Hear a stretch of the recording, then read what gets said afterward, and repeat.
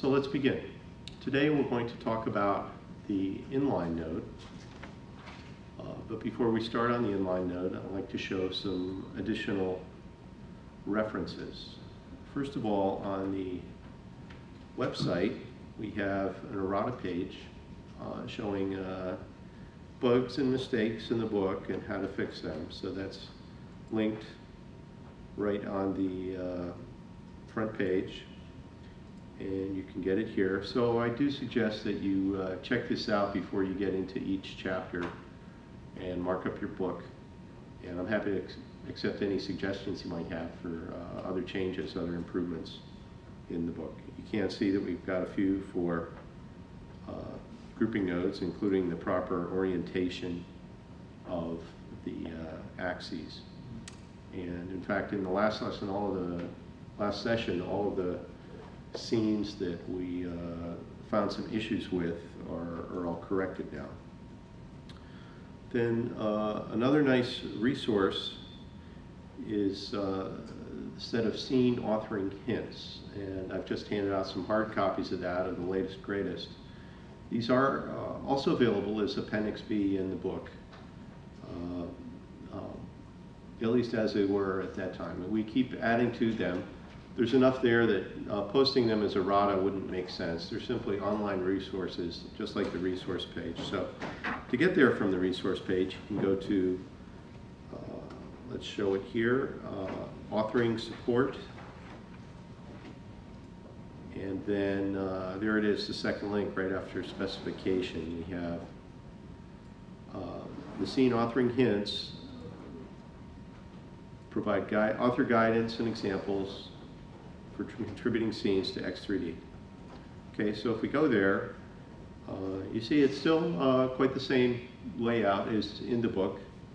Uh, perhaps just a few more. We occasionally uh, add some more. And this, is, this has been a particularly interesting page because just about all of the hints in here were based on uh, prior versions of the course. Uh, student questions, student suggestions, uh, things that seem to be frequently asked uh, authoring questions. So we've embedded in there. So we have been looking at uh, coordinate systems as part of grouping node and transformations. So you can see that there is a whole section here on coordinate systems and um, including some links to some of the scenes. So there's our basic uh, model orientation that we like to have. We point things on the uh, x-axis so you see them when you come in on your default viewpoint. Uh, we also have the uh, coordinate axes north, south, east, and west, which is a figure in the book, and also a live uh, scene. Let's look at the live version of that. And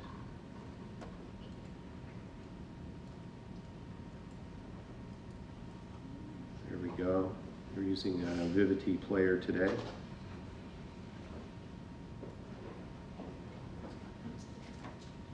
Okay, and then a more uh, advanced example that also shows these coordinate systems.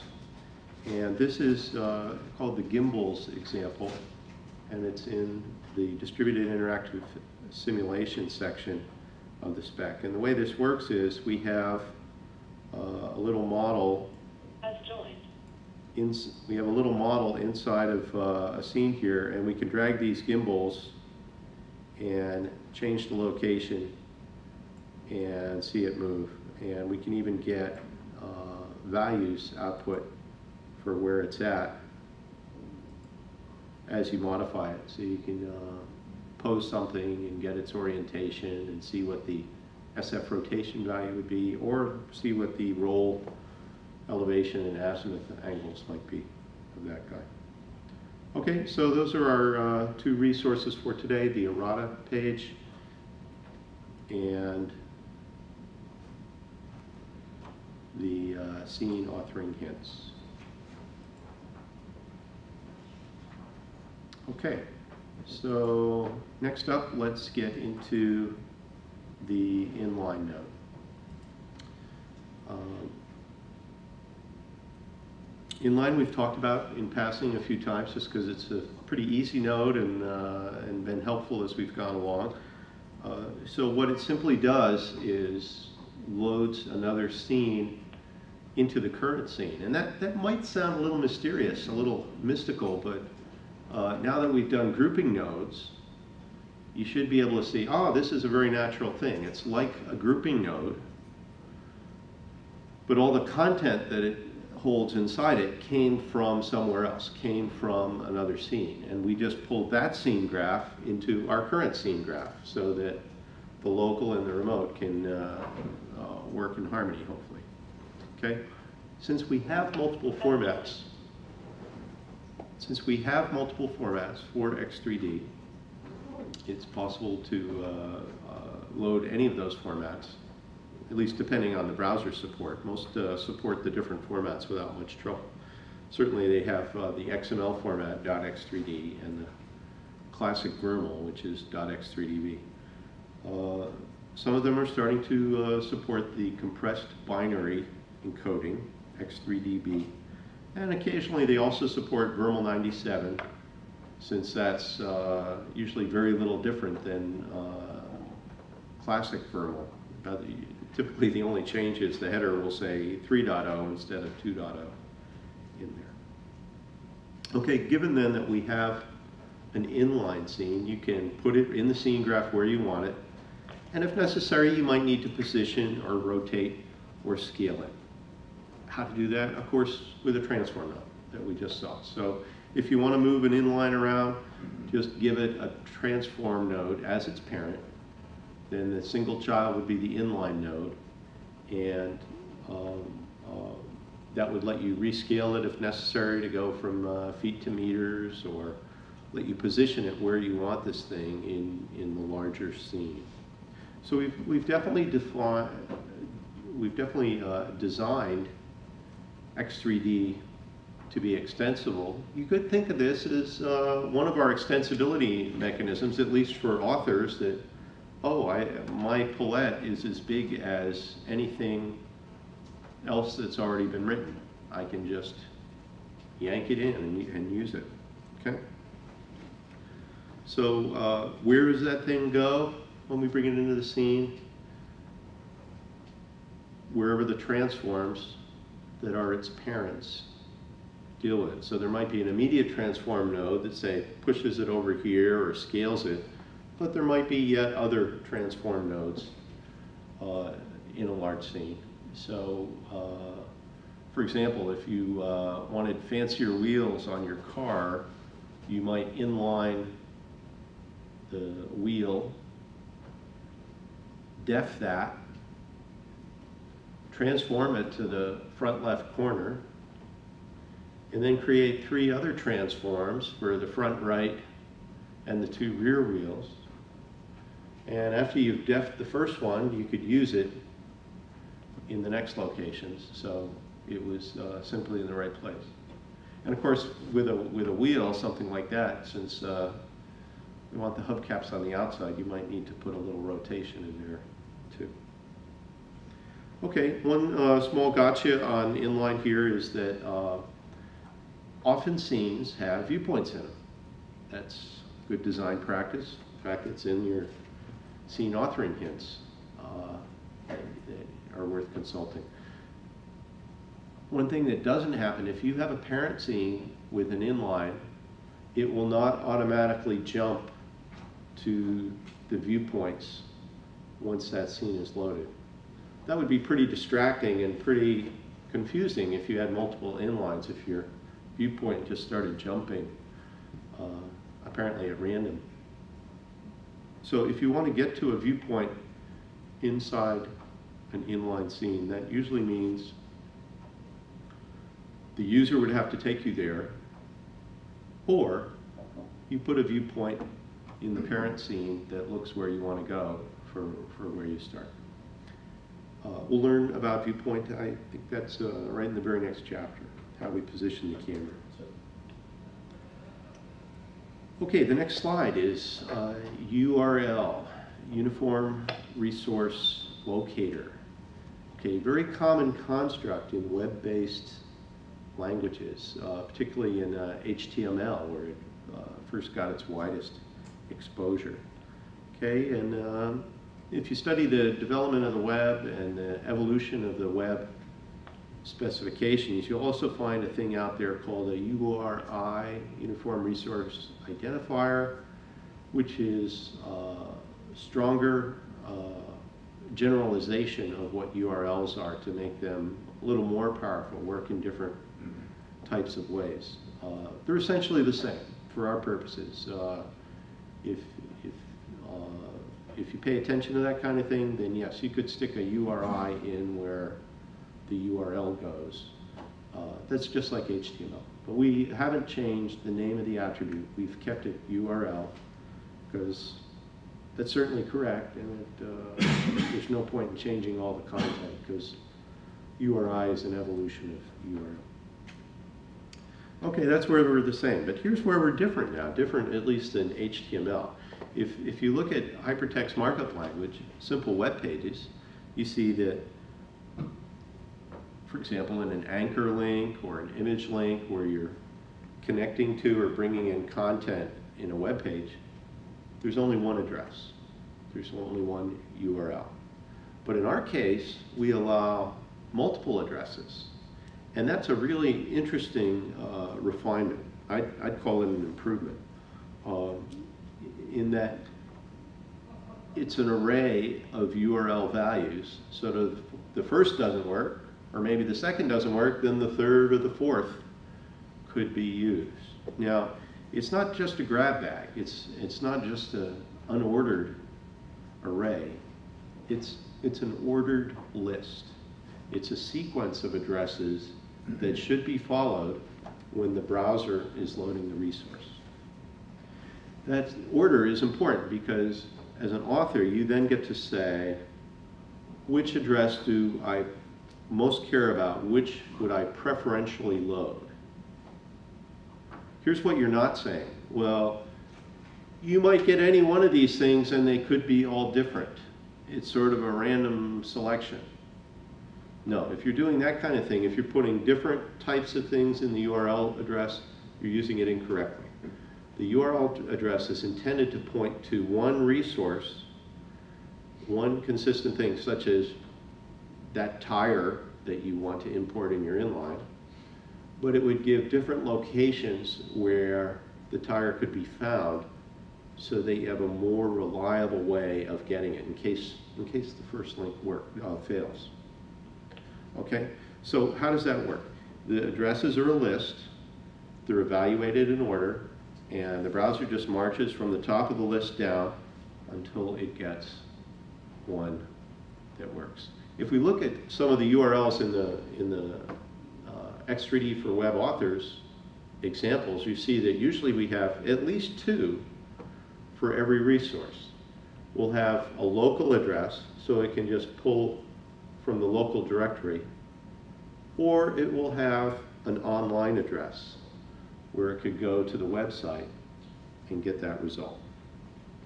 Okay, so let's, uh, let's look at that. Let's pull up our URL example. So I am in, if I can get there from here, here's our favorites window blown up.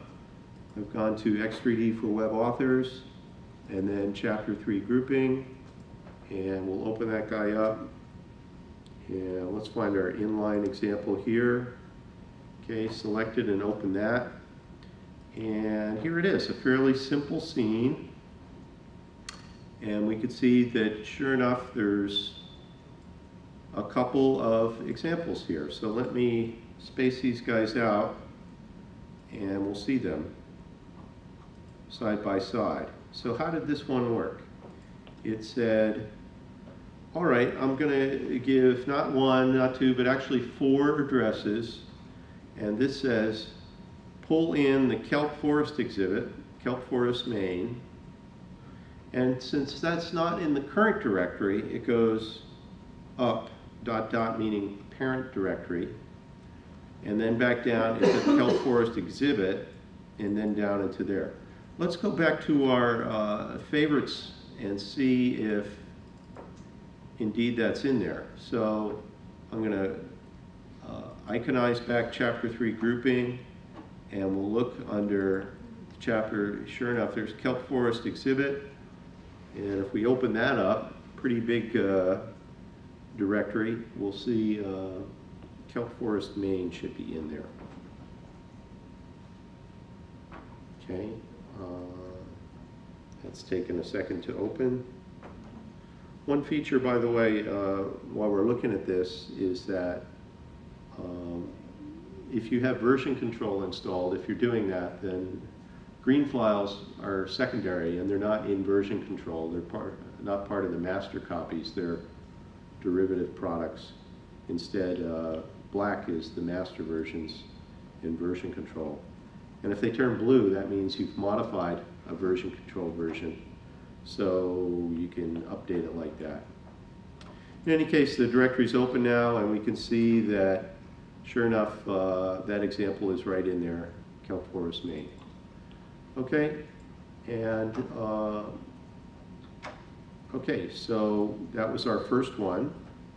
What's our second one? Our second one is the same file name, but dot .whirl. Okay, the idea here being that uh, uh, perhaps a converted version of this file, a classic VRML version of this file, was landing in a, excuse me, not, not classic VRML, but a VRML 97 version of this file was landing in a VRML 97 browser, then it should reject the first one. Even though it was old, it should say, well, I never heard of this X3D stuff. You got anything else I can try? And it would find the .world version and hopefully do that. Go ahead, Ken. Isn't it a bad idea to, um, Guess like daisy chain, like have an inline to something that has an inline? Is it a bad idea to have a daisy chain of one inline referring to another inline referring to another inline? No, that's a, a really good point. It's perfectly legal and a good idea. Uh, please add that to the minutes for today. We'll add, we'll add it to the slide notes because usually that's how you want to do it. Uh, one nice thing about X3D, part of that scalability is you get to build it out in the chunks that make sense, chunks that you want. So we'll play that into the, the car example. If you first modeled a really nice tire, it's good to leave that just as is, and then you could build a car which might pull in that tire and make some copies. It might pull in a few other things.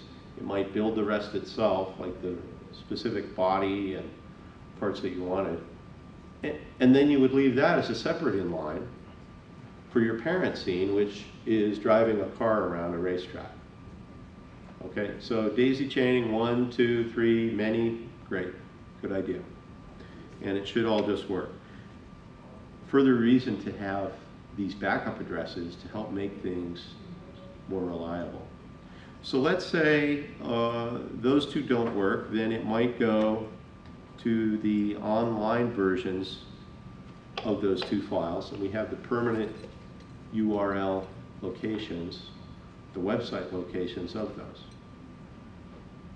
Okay, so let's go now through the four cases when we might use these. And uh, in fact, I think since this scene is pretty terse, we'll add some comments to this scene to uh, describe it.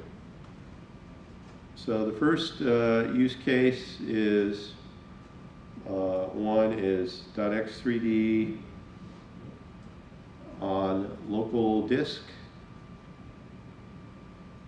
That might be a hard disk, it might be a DVD or a CD where you've installed this, or local server. Okay. What I mean by local server is perhaps somebody has gotten to this web page by querying it from the server. It will just look up and down in its own local directory to get there. In fact, why don't we, uh, we list those as 1A and 1B.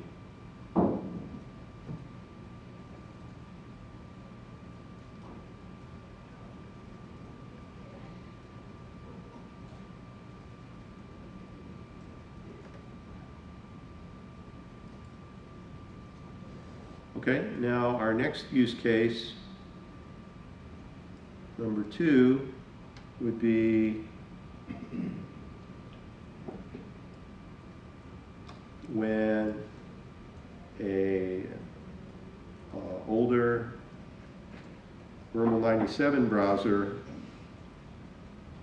is unable to read X3D and reads the dot world version instead.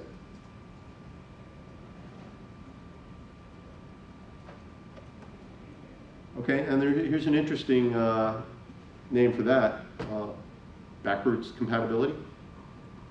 We, we've shown a mechanism for backwards compatibility into the previous version of the spec.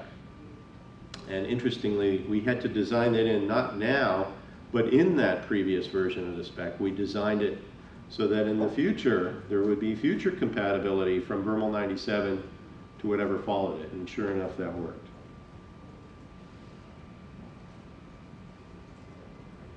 But since we're writing from within the perspective of X3D, I'll call that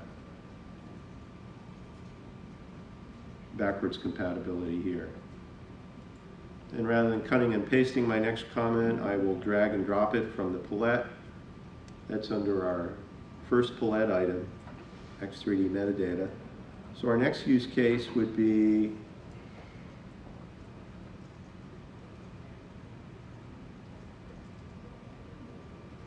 Number three is uh, local copy not available, retrieve from server. And that would be a more or less permanent, uh, hopefully permanent server address. And then case four,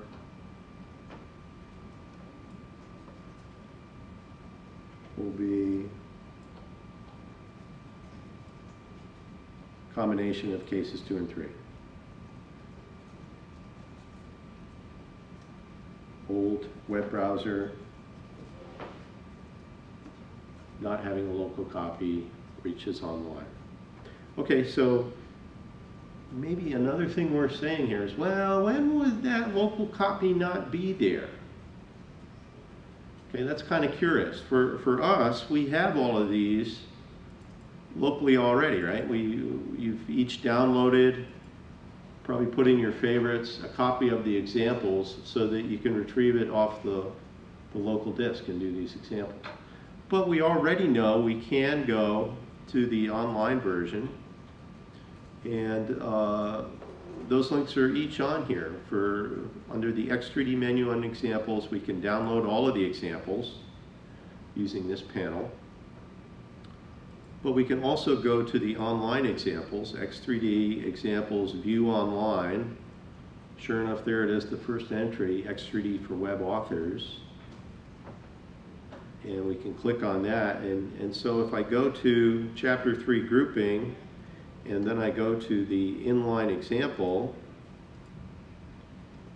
then here we see it start to load and start to work, and that's an example right there of this inline working on the server and from the server address reaching into its local server address to get it. So use case 1A and then 1B. Okay, but what would a case be where it wasn't available locally? I think the, the case would be, what if you mailed this file to somebody else? Or they just happened to get it in isolation, copying the file or as part of some other distribution or something.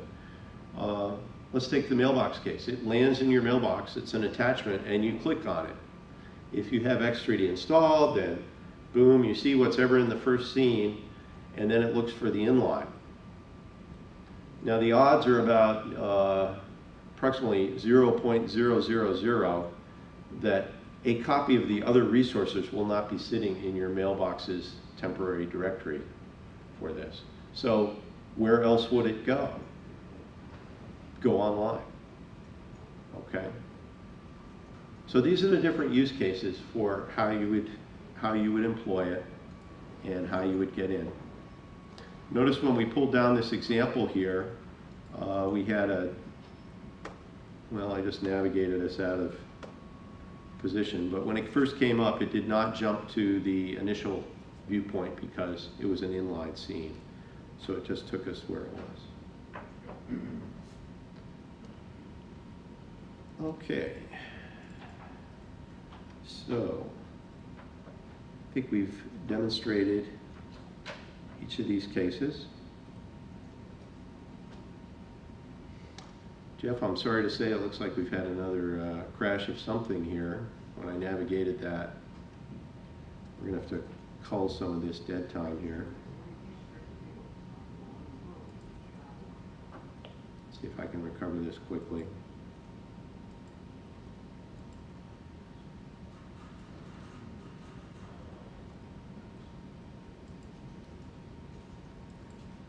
We'll wait for the obligatory, you crashed, you know message.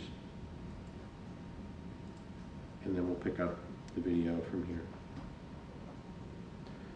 Okay, so we saw that uh, we were able to inline. We saw that the initial viewpoint did not get jumped to, but rather it stayed right at 0010. We saw that the URL field could work locally when we pulled it up or locally on the server when we queried it. And final use case, use case three, we could see that it would come down uh, to your local host if you launched it from your mailer or some other thing. Now, what are, what are the variations that are interesting here?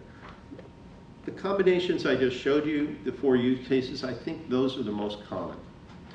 But what if your resource was something like, that was, say, uh, transient or frequently getting updated? Like, what's today's weather? Or what's the traffic on the highway?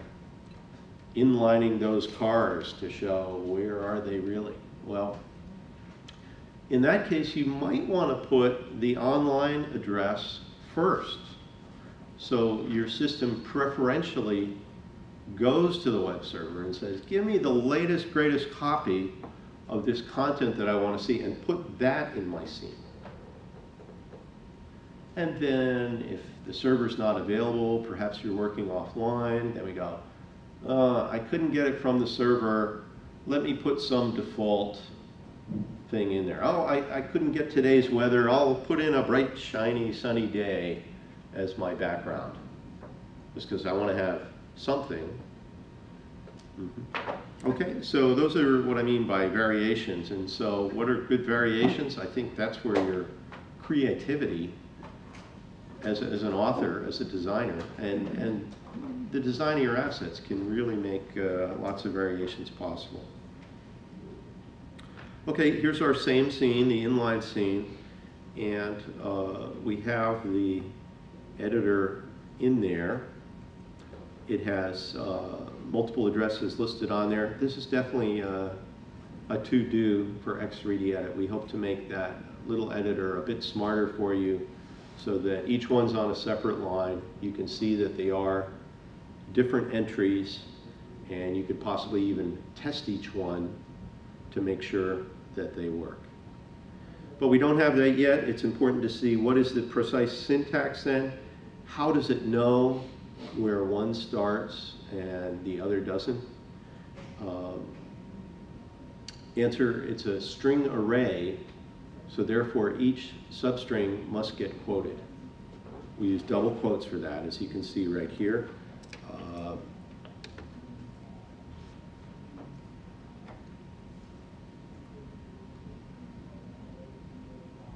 each subarray has a double quote set.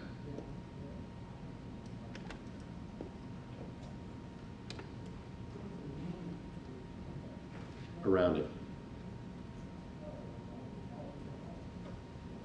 Okay, and if uh, for some reason your uh, URL itself had a quote in it, I think it would probably be illegal. I don't, I don't think that's a legal array character, but occasionally if you were putting in some kind of query to a web form or something like that, you might see it. So then you could use your ampersand QUOT, but you wouldn't use that here. If we do update this uh, editor will probably make it no longer necessary to get the quotes exactly right to simplify it.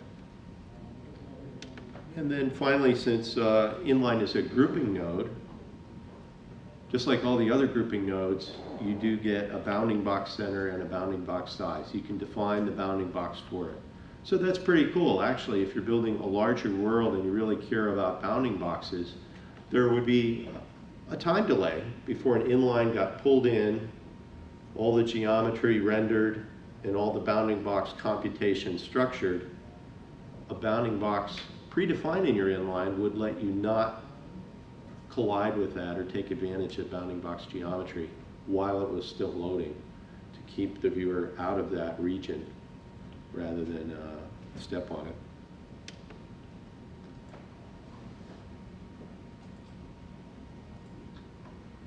Okay, and then we have tooltips,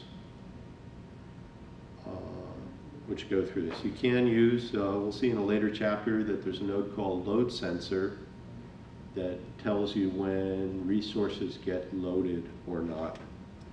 And so that's in chapter 12, and we'll learn how to do, where'd it go? I saw it a second ago. There it is. Learn how to use load sensor. Okay. Uh,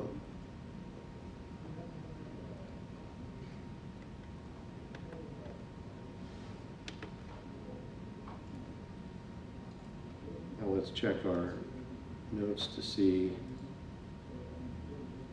if we've gotten everything.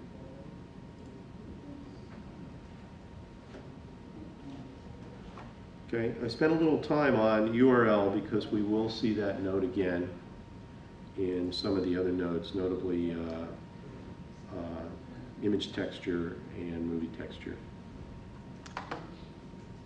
Okay.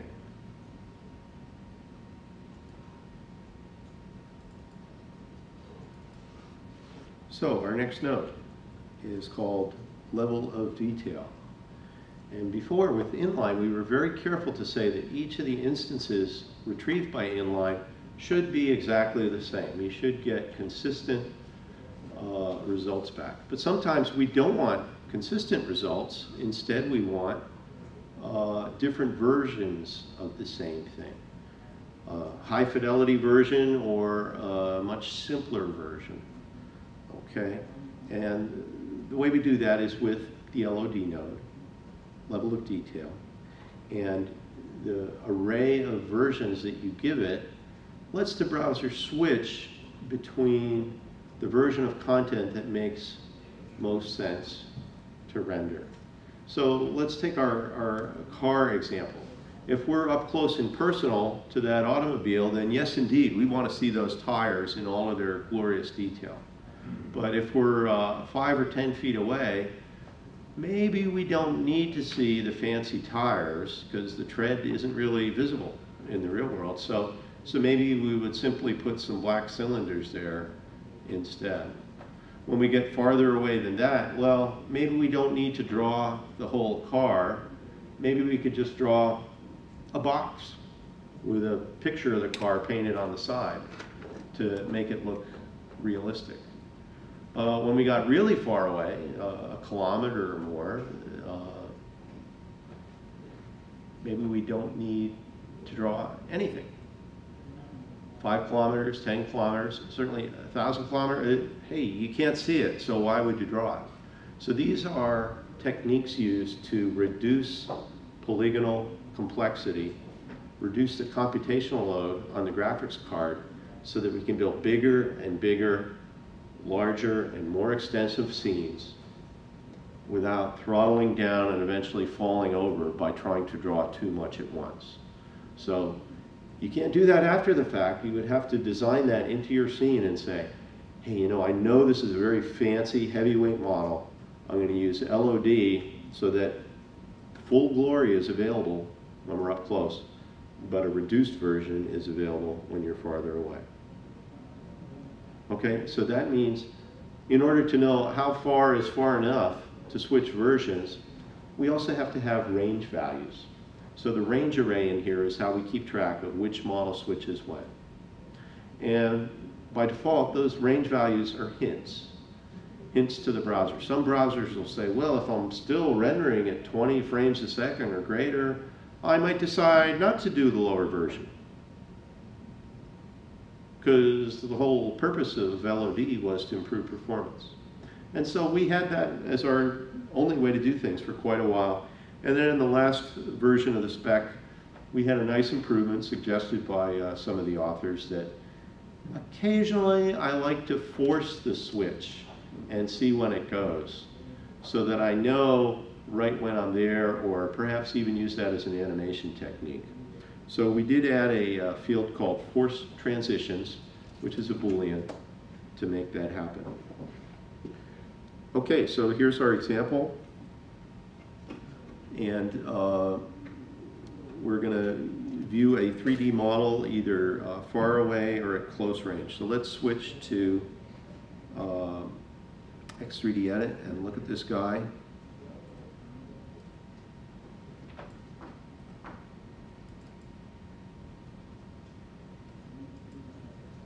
Right, so again, chapter 12, and this will be our uh, LOD model. In fact, if you don't want to wait, you can just go to that guy, but let's.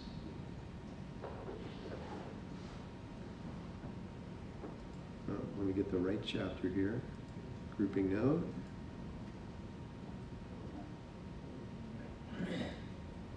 LOD. And here we are.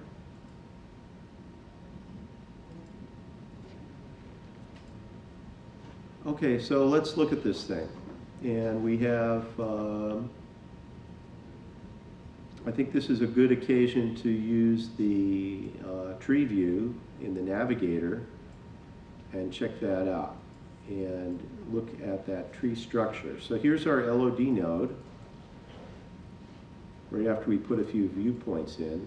And yes, I know that we haven't covered viewpoint yet, but you'll see in a moment that viewpoint is very helpful in this scene because it'll let us test it at different ranges. So bear with me on viewpoint. We say, okay, our LOD node has three children. It has a group, and then another group, and finally a world info. And in each group, we have a series of shapes. In the first, we have a, a box plus a sphere. In the second one, second group, we have a single shape, and that just has a box. But this time the box, instead of having a simple color, also has an image texture on it, a texture mapping.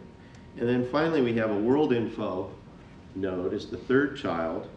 The world info says, hey, I'm not visible because I'm at long range. You can think of it as uh, similar to a con comment, but something that persists. It's part of the scene graph.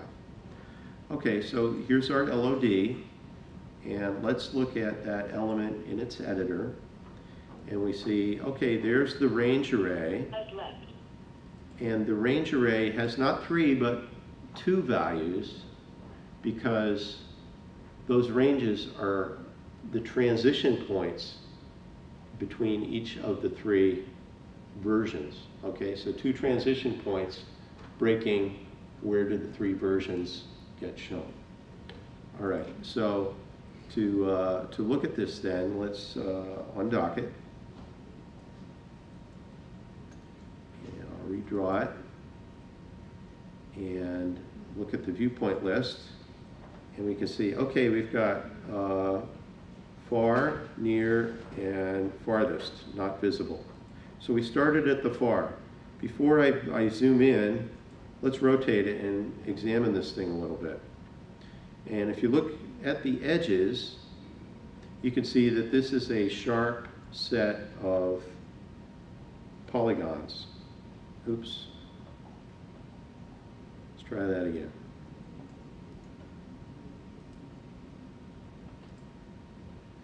I meant to hit, instead of dock, I'm going to hit wireframe. We say, oh, look at that, it's just a box. But as soon as I move in, it changes. Let's look at the real geometry. See, this time, it's a sphere inside of a box rather than a box with a picture painted on it. Okay, so when we're up close and personal, we can see that yes, indeed, there's two sets of geometry. If we go to wireframe mode, we can go, yes, that's a lot of polygons, many of which are not getting drawn at all, right? Because they're uh, uh, obscured by the corners. Most of them are shown on the sphere, but there's a lot that aren't. And then if I zoom out, we'll see it switch right there. And we've gone to an image texture, just a picture. And if I keep zooming out, eventually it disappears. Okay, let me go back in, pop, it appears, keep going, pop, the highest fidelity version. Okay.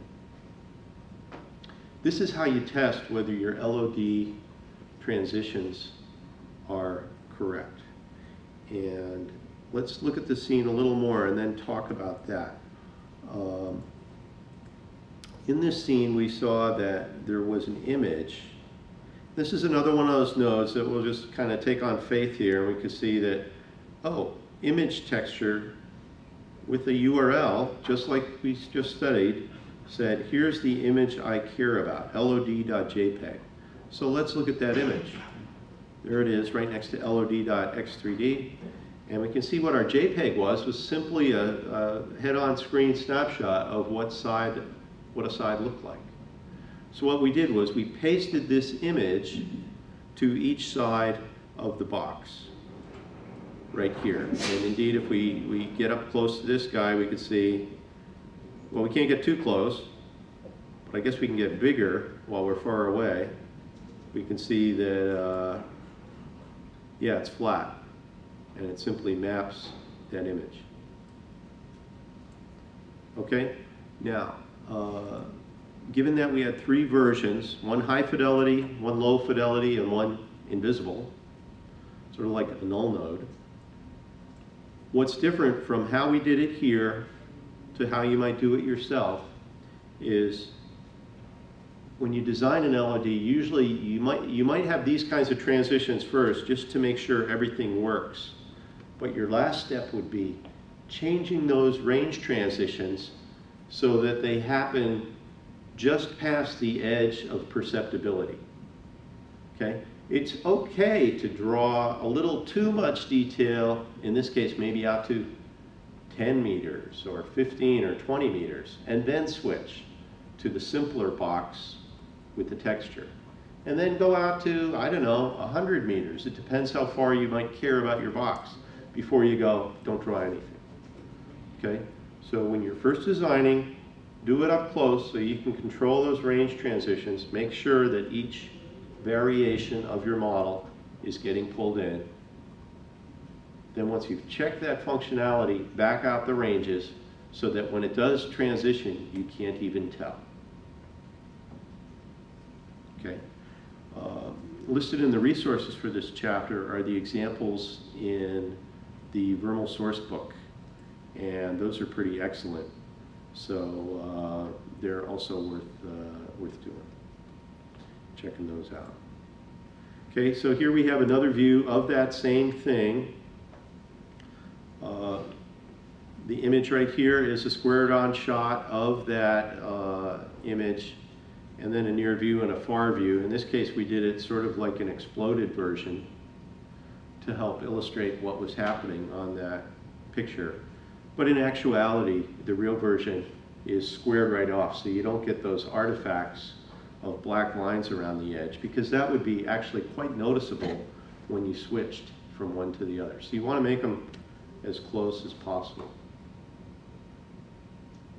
What is the right way to do different versions? Low fidelity, high fidelity? Well, that's, that's where your, your creativity comes in, and we'll learn lots of different ways to draw things. So these are just typical ones. If you're a, a former uh, VRML 97 uh, modeler, there is uh, one of the few changes between uh, VRML 97 and X3D is right here. Something we usually get to ignore is a thing called container field which is the label, the field name for uh, nodes. In our case, uh, we to make it the same as all the other grouping nodes, they're simply children. If you haven't messed around with VRML 97 before, then uh, no need to worry. That's uh, just extra detail. This figure illustrates uh, the transition nature of the values. Okay, so the models are drawn at these different ranges, and the range array, therefore, is one less than the number of models. Okay, so if you don't have one less, then that's probably an error on your part. Certainly conceptually, it's wrong because you should give transition ranges for each one. And if uh, you really want to be strict about those transitions, then put force transitions equal to true. You may find that necessary when testing in some browsers, because browsers, since they want to look as good as possible while being as fast as possible, they may ignore your transitions and always show the very best, ver- very best version, regardless of how far you are. And so, you, if you're finding it hard to tell whether a transition occurred or not, push those ranges in and set force transitions to true. And here are our tooltips for LOD, level of detail. Any questions on LOD? Okay, tomorrow, in the next session, we'll pick up with switch node.